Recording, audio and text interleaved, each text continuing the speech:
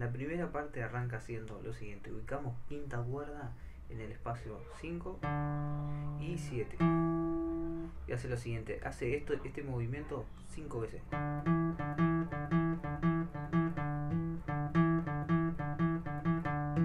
Pero en la última, en la repetición 5 hace un ligado, que es esto de tocamos una nota y con el otro dedo martillamos a la siguiente nota.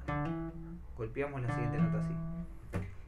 Eso lo hace, lo repite cuatro veces y luego hace tres veces más de eso. Para tocar esta intro vamos a ubicar la cuarta cuerda en el espacio 7. Y vamos a tocar dos veces. Luego vamos a ubicar la cuerda 3, espacio 7. Luego espacio 9. Sería así. Luego ubicamos de nuevo en cuerda 5, espacio 7, tres veces tocamos. Espacio 3, espacio 7 de cuerda 3. Ahora tocamos, pero dejando el dedo en el espacio 7, pero sin presionar. Y, la not y tiene que sonar la cuerda así, muteada. Y luego tocamos en el 9. Hasta ahora tendríamos esto. Repaso rápido. Vamos a la siguiente parte que es media similar, que es ubicar quinta cuerda de nuevo en el espacio 7 y tocamos tres veces.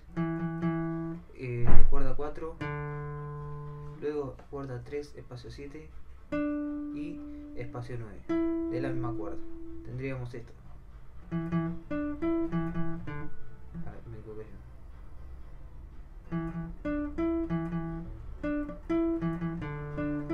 Ahora tocamos tres veces la cuerda Re sin tocar ninguna nota acá. Y luego tocamos espacio 7 de cuerda 3. Dejamos el dedo en, donde estaba pero sin hacer fuerza y tocamos la cuerda 3 que suena muteada. Luego tocamos en el espacio 9. Nos quedaría así. Esta última parte nos queda así. Ahora tocamos tres veces más la cuerda re. Nos quedaría así. Todo esto nos quedaría así.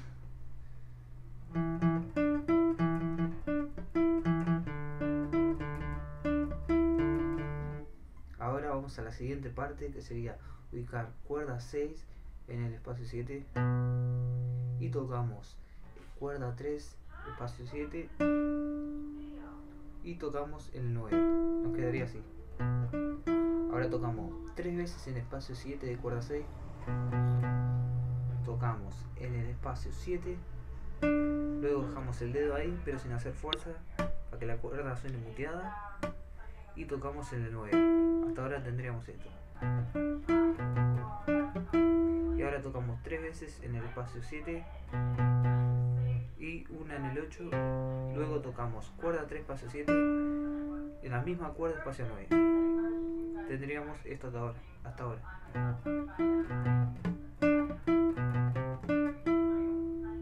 Y luego tocamos 3 veces en espacio 8 tocamos espacio 3 de cuerda 3 espacio y, ahí hacemos dejamos el dedo presionado en, la misma nota que está acá pero sin presionar la cuerda para que suene el muteado apagada y tocamos en el 9 y volvemos a tocar 3 veces en el espacio 8 de cuerda 6 todo esto sería la intro completa nos quedaría así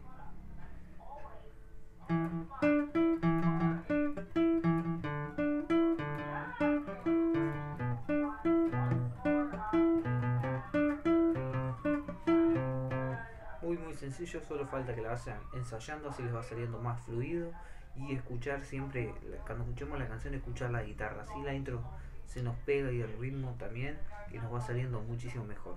Es la, es la parte más larga de la intro, incluso ahí también me de esto porque parece que la canción empieza más, todo el tiempo haciendo...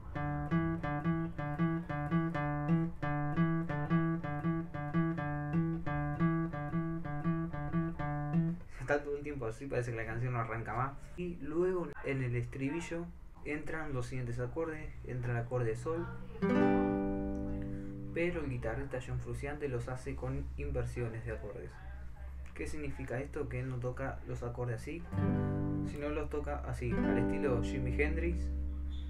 Y hace lo siguiente, ubicamos cuarta cuerda, quinto espacio, tercera cuerda, cuarto espacio y segunda cuerda, tercer espacio. Y tendríamos un sol mayor con esta inversión. Luego toca un re. Lo podemos hacer así o con cejilla. Y si no conocemos ninguno de estos, lo podemos hacer igual al re normal que conocemos. La cuestión es que todos aprendemos, aprendamos la canción. Cada uno tiene un nivel distinto. Alguno toca menos, otro más, incluso hasta más que yo. El ritmo sería tocar hacia abajo, luego hacia abajo y hacia arriba. Sería así. Luego iríamos al re.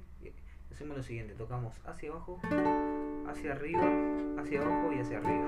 Bueno, y después sí toca para abajo, para abajo, para arriba y en do toca para abajo y luego cuatro veces para arriba y para abajo.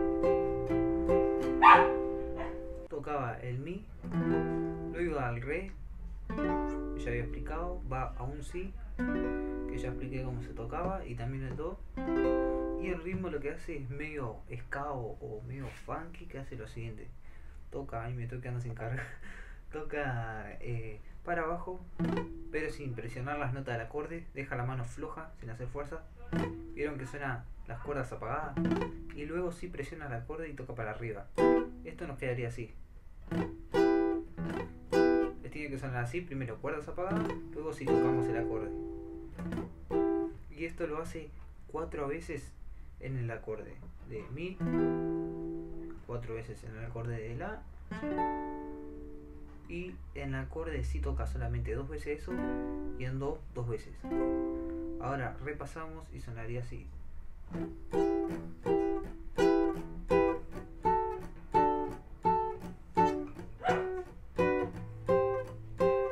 Fácil.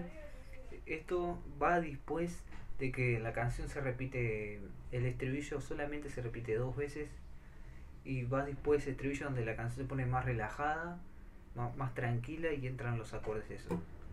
Y después finaliza ya con toda la intensidad la canción, finaliza tocando el riff, famoso riff de la canción. Ese riff, obviamente todo completo, yo hago esto solo para que se guíen y vayan entendiendo la, la canción, la forma de la canción. Y bueno, y termina con ese riff haciendo pa pa pa pa pa pa, pa el riff ese que acabé de enseñar. Y sigue así hasta terminar con ese riff. Termina la canción y listo. Así que más o menos les expliqué la estructura, traté de explicarlo lo mejor para que entiendan y toquen lo más correcto a la canción.